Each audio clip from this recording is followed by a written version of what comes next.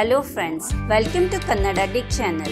On this channel, we will learn the meanings of English words as well as full forms. So, let's learn the full form of